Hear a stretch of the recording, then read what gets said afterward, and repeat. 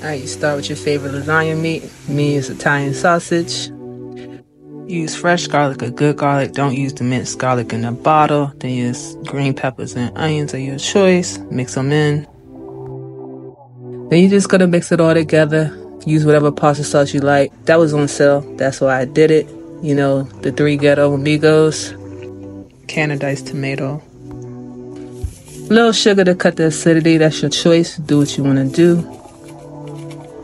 I kind of went heavy, you know, cousin sassy. Then you're gonna um, put your beef broth in. Use two containers if you want it more soupy.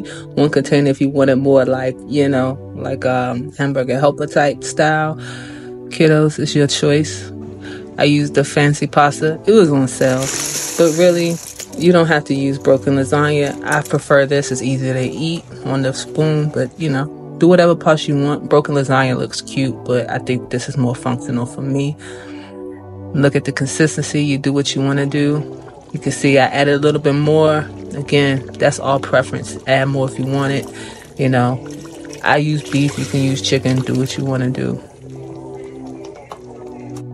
Right here, again, we're working with the consistency now. Again, you saw I added more broth. So, of course, I'm going to go back in with some more seasoning. You know, season till your ancestors tell you. If you ain't got ancestors, season till you sneeze. It's whatever. All right, you're to add your ricotta. Don't season your ricotta. This is actually not lasagna. You don't need to do that. just put it in the soup.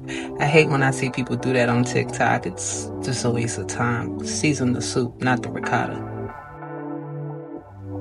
Then you're gonna add, you know, your cheese. I use this.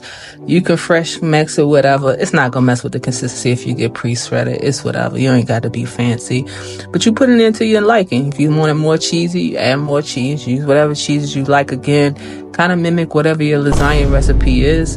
And if you don't have one, you can use what I did, and boom, there you go.